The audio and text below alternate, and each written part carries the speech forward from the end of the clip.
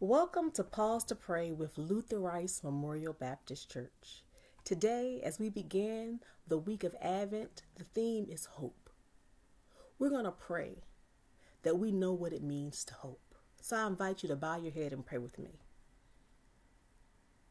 God, the creator of the whole universe, the one who shaped us, forms us, and loves us just as we are, we are praying today to understand what it means to hope.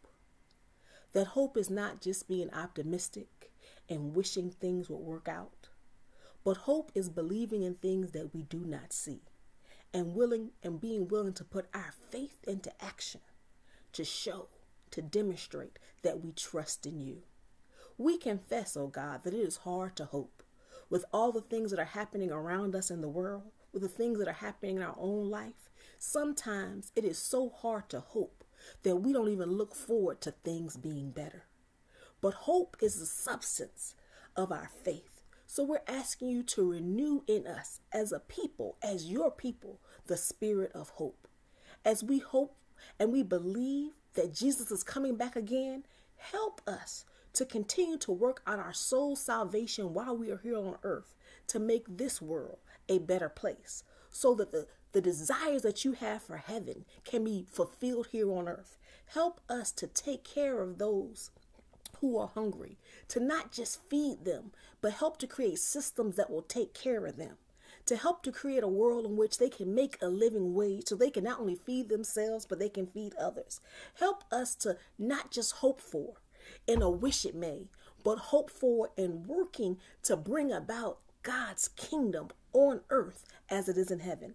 Help us to watch out and to make a difference for those who have been unjustly incarcerated, those who have been murdered and their families left behind, those who wake up in the morning every day feeling like all their hope is gone because someone they love has passed away, because something they had desired never came to be realized. We are praying today for people who are who who for hope for them hurts because it's better to expect less than than to believe that the impossible can happen.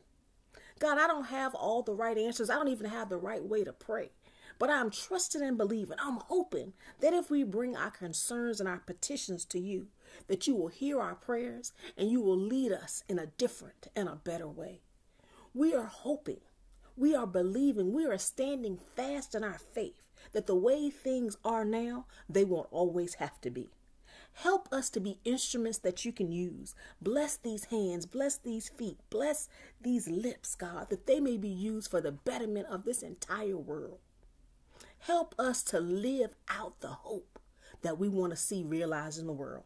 In the mighty and matchless name of Jesus Christ. Would all God's people everywhere say amen. We invite you to not only pause to pray with Luther Rice, but to share, to like, to in your daily life See the ways in which you can make hope a reality. Until we meet again, may God bless you and keep you.